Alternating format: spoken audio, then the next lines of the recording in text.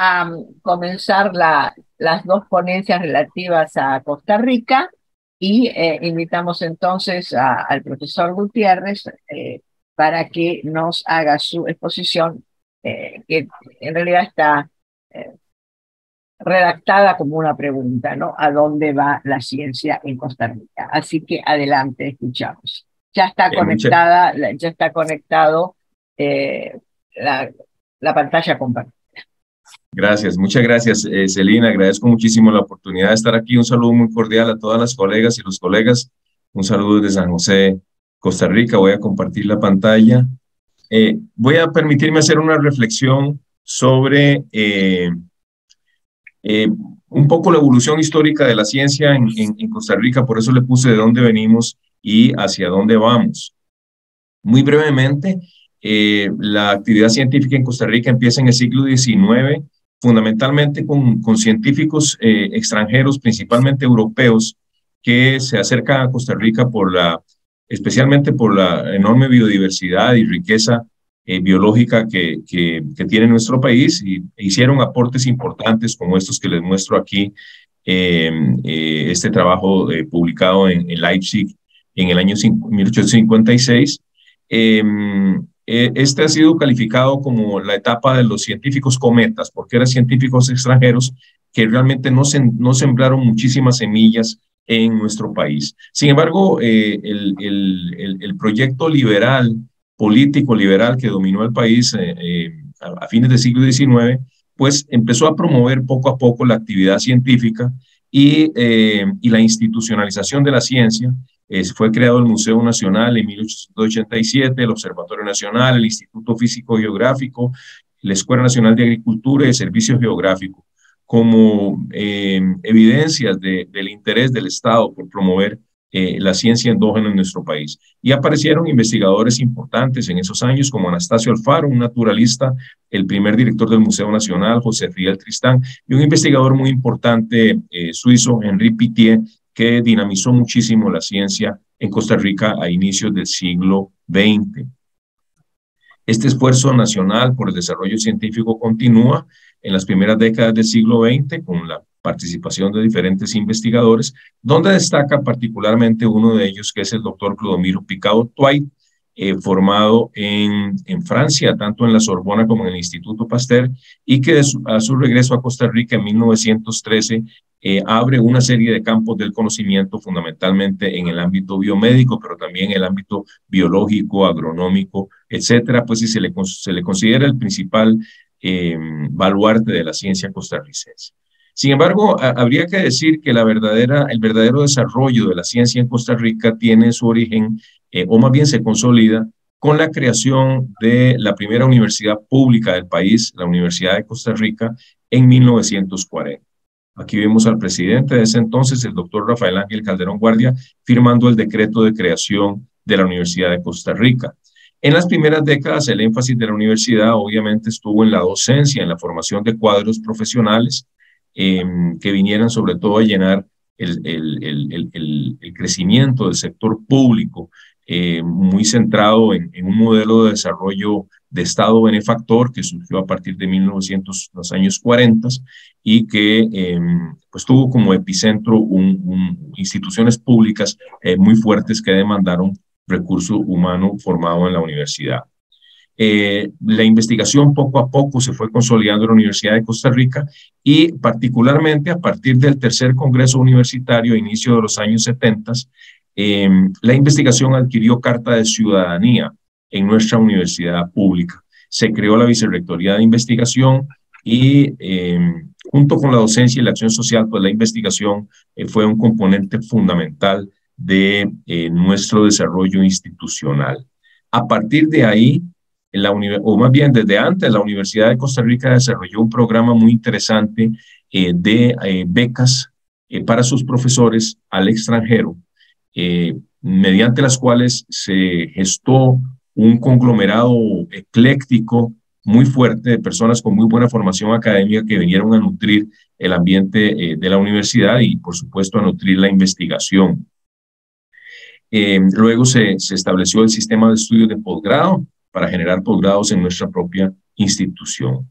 Pues todos estos esfuerzos, sobre todo a partir, repito, de este tercer Congreso Universitario, eh, generaron eh, la aparición en pocos años de una gran cantidad de unidades de investigación. Aquí les muestro los logos de eh, los centros de investigación de la Universidad de Costa Rica en todos los campos del conocimiento.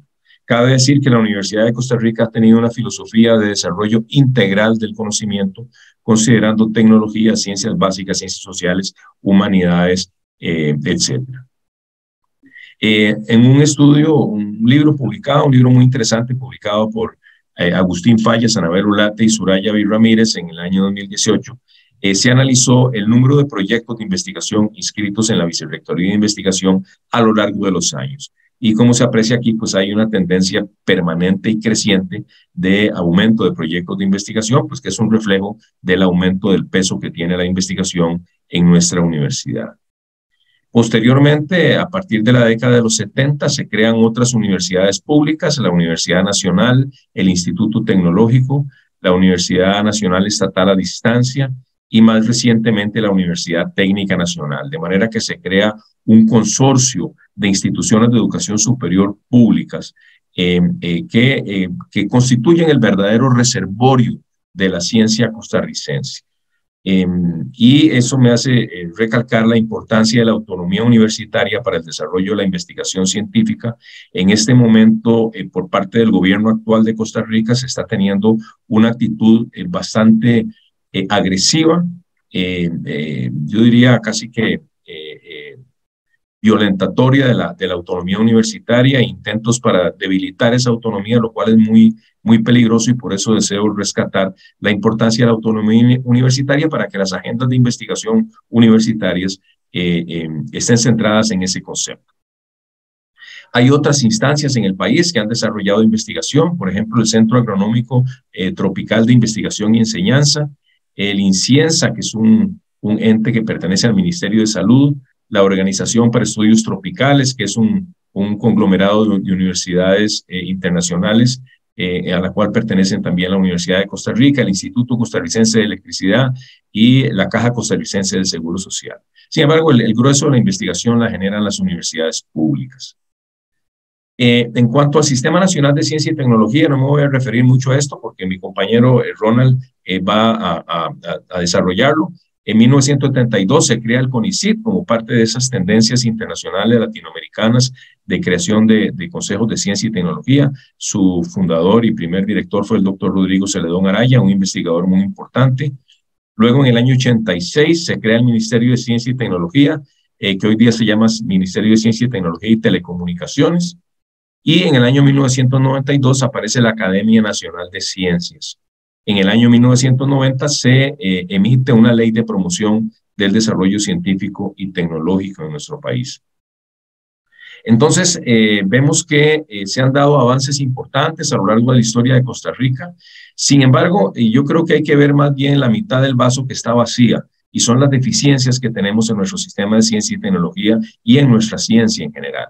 Debemos enfrentar esas deficiencias para realmente convertir la ciencia, la tecnología y la innovación en factores de desarrollo, prosperidad, equidad y bienestar. Quiero referirme en este sentido a eh, el mejor diagnóstico, en mi opinión, que se ha hecho del estado de la ciencia, la tecnología y la innovación. En Costa eh, es diagnóstico hecho por el programa El Estado de la Nación. El programa del Estado de la Nación es un programa que pertenece a las universidades públicas y que en diferentes ámbitos de la vida nacional emite eh, diagnósticos eh, tanto en el ámbito político en general, en el ámbito educativo, en el ámbito ambiental, etcétera. Y en el año 2014 emitió este diagnóstico de eh, el estado de la ciencia, la tecnología y la innovación. Y en realidad este diagnóstico no es muy halagüeño en cuanto a las características de la ciencia costarricense.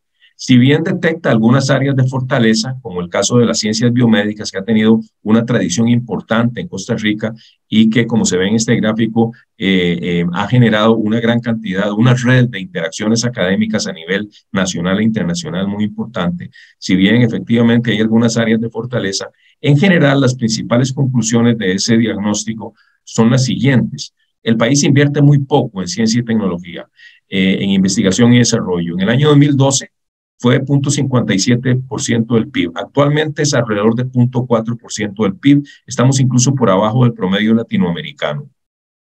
El sector privado ha sido muy conservador, eh, invierte muy poco en, investigación y desarrollo. Eh, tenemos un contingente humano escaso en ciencia, eh, no tiene redundancia, hay campos del conocimiento donde hay muy pocos investigadores e investigadoras, hay muchas brechas de género y hay mucha endogamia académica, o sea, es una comunidad académica frágil. Eh, tenemos, por lo tanto, una producción académica modesta, si se mide en términos de publicaciones en revistas indexadas, en impacto internacional, etc. Em, tenemos una excesiva priorización en política científica y tecnológica hacia la investigación aplicada y desarrollo tecnológico, a lo que me voy a referir un poco después, en, detrimento de la ciencia básica y las ciencias sociales. Hay una importante desconexión entre la generación de conocimiento y los sectores de la sociedad que requieren el conocimiento. Hay esfuerzos importantes de transferencia de conocimiento en algunos ámbitos, pero en general hay una importante desconexión. Y tenemos, lo cual es un problema, una desconexión entre las áreas fuertes en ciencia, por ejemplo, el área biomédica, y las políticas y prioridades oficiales establecidas por el Ministerio de Ciencia, Tecnología y Telecomunicación. Entonces, como ven ustedes, es una radiografía que detecta problemas muy importantes en nuestro país que requieren acciones correctivas. Eh, quisiera detenerme en este esquema que lo adapté de un libro de los autores Conway y Wash, eh, que plantea ¿En qué debe consistir un sistema integral de ciencia, tecnología e innovación? Y lo pongo para contrastarlo con la situación del sistema actual costarricense. En esta propuesta em, de Conway y Watch, eh, que he modificado ligeramente, eh, tenemos tres subsistemas importantes aquí. Un sistema de ciencias básicas y sociales que fundamentalmente está en las universidades públicas y es donde se generan las ideas más originales, ideas que alimentan un subsistema de lo que podríamos llamar investigación de traslación o investigación aplicada o desarrollo tecnológico, a donde hay eh, grupos de las universidades, del gobierno, de las empresas y de alianzas público-privadas. De manera que eh, este subsistema de investigación aplicada o de traslación o investigación tecnológica luego se conecta con eh, la sociedad en términos de los sectores que generan productos y servicios, eh, no solo económicos, sino también a nivel social, los emprendedores, los sectores productivos y sociales.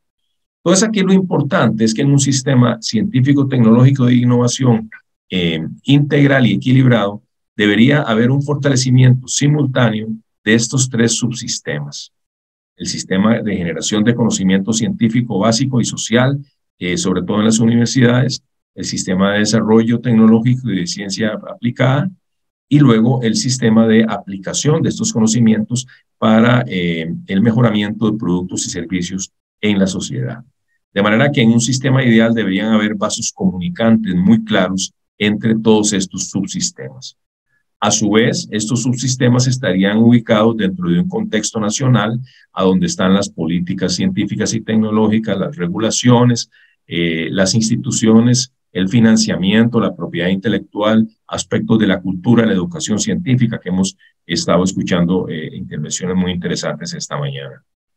Y a su vez, este contexto nacional se ubica en un contexto internacional, a donde existen también vasos comunicantes con la comunidad científica global, porque la ciencia es un emprendimiento global, a donde países pequeños como los nuestros, con muchas limitaciones, tienen que insertarse de una manera productiva en ese contexto internacional.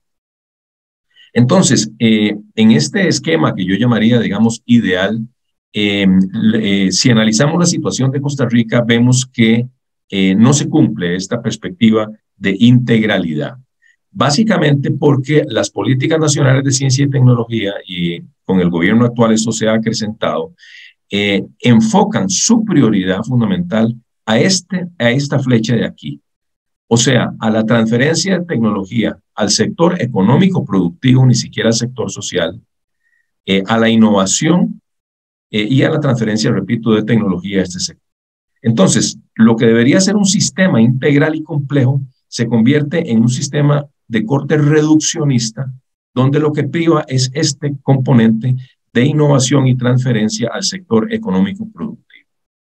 El problema que tiene esta visión es que si no hay generación de ideas originales realmente originales que se, que se, forjan en la ciencia básica, en las ciencias sociales, eh, no habrá la generación de eh, alternativas tecnológicas y aplicadas eh, importantes que eventualmente puedan aplicarse a la sociedad. Entonces, estamos en una, en una perspectiva de corte reduccionista, economicista, que soslaya o menoscaba la importancia de la ciencia básica y de las ciencias sociales, insisto, que son fundamentales para entender problemas complejos de nuestra realidad que requieren conocimiento científico y eh, comprensión para luego eh, buscar soluciones, eh, para generar simplemente políticas de innovación que terminan siendo de alcance muy limitado, precisamente por la ausencia de esta visión integral. Em, creo entonces que estamos en una situación complicada porque hay muy poca inversión en ciencia y tecnología y esa inversión se está dirigiendo básicamente o priorizando a esta línea de, de desarrollo tecnológico. Si no existieran las universidades públicas en nuestro país con su autonomía, eh, no existiría una comunidad de ciencias básicas y ciencias sociales, humanidades, eh, etcétera, que generen este conocimiento. Entonces, el hecho de que exista una comunidad de ciencia básica en Costa Rica, aunque sea frágil y limitada, se debe fundamentalmente a los empeños de las universidades públicas que han sido eh, posibles gracias a la autonomía universitaria. Entonces, como verán, estamos en una situación complicada, tenemos una base científica y tecnológica no despreciable que se ha cultivado a lo largo de décadas, sin embargo, tiene mucha fragilidad, tiene poca redundancia y sobre todo está en un contexto de políticas públicas de ciencia y tecnología que no lo favorecen. Para muestra un botón, el año pasado, la Asamblea Legislativa en Costa Rica aprobó una ley por amplia mayoría en la Asamblea Legislativa que convirtió al Consejo Nacional de Investigaciones Científicas y Tecnológicas en una nueva entidad que se llama la Promotora Costarricense de la Innovación y la Investigación. Desde la comunidad científica eh, tuvimos una oposición muy fuerte a este proyecto de ley, sector de la comunidad científica, porque este, lo que percibíamos viendo la, letra del proyecto es que la ciencia quedaba completamente eh, relegada en esta nueva idea de la promotora costarricense de la innovación y la investigación, que se centra fundamentalmente en esa idea de que eh, la política científica tecnológica debe ir básicamente hacia la innovación, hacia la transferencia de tecnología. Y realmente la ciencia queda muy, muy debilitada en, este nuevo, eh, en esta nueva entidad. Está apenas empezando, habrá que darle el beneficio de la duda, vamos a ver qué tal funciona, pero nuestra preocupación es que al, al casi que al excluirse la ciencia de, esta nueva institución, pues no queda claro eh, cómo se va a apoyar la investigación científica en, eh, nuestro país. Para ir concluyendo, tenemos muchas tareas pendientes por delante desde mi punto de vista hay que ver de qué manera se incrementa el financiamiento de la investigación científica y en esto no solo habría que pensar en, en el financiamiento por parte del Estado, sino también fomentar el financiamiento por parte del sector privado y fomentar el financiamiento por parte de instituciones autónomas que son muy fuertes en nuestro país, como la Caja de Seguro Social, el Instituto Costarricense de Electricidad, la Refinadora Costarricense de Petróleo, etc. Pero tenemos que aumentar ese porcentaje de I más D en nuestro país. Tenemos que consolidar un contingente sólido y redundante de personas bien calificadas dedicadas a la investigación y con balance de género. En ese sentido hay que trabajar también mucho con la diáspora científica costarricense, eh, muchas personas muy calificadas que están en el exterior y que podrían tener un vínculo con nuestra comunidad científica. Tenemos que manejar, y en esto vamos a contrapelo de las políticas oficiales actuales, un adecuado equilibrio entre ciencias básicas, ciencias sociales, tecnología e innovación de acuerdo al esquema que les presenté. Tenemos que desarrollar políticas sólidas de cooperación internacional, incluyendo, como mencioné, a la diáspora científica costarricense. Y luego, muy relacionado con lo que se ha estado hablando de la educación, eh, que la ciencia en realidad se convierta en parte de la cultura, que no sea algo exógeno en nuestra cultura, sino que sea algo que se endogenice y que esté al servicio de las necesidades de la sociedad en un sentido amplio que procure el bien común. Y aquí encaja perfectamente lo que se ha venido hablando de la importancia de una mejor educación eh, científica a nivel de escuelas y colegios, a nivel de la población en general. Eh, de manera que hacia el futuro eh, estaríamos pensando en, en, tener una actividad científica o tecnológica endógena robusta, con apoyo político y económico, con un entorno propicio para la creatividad, con fuertes vínculos entre los sectores, con claras políticas de cooperación internacional y con una vocación de procura del bien común en un sentido amplio. Eh, y con esto concluyo mi presentación. Esta es la, la fachada del Instituto Clodomiro Picado, el instituto donde yo eh, trabajo, que pertenece a la Universidad de Costa Rica. Y le agradezco mucho a Celina la oportunidad que me ha dado de participar y a todas y todos ustedes por su atención y quedo en la mejor disposición para escuchar preguntas o comentarios. Muchísimas gracias.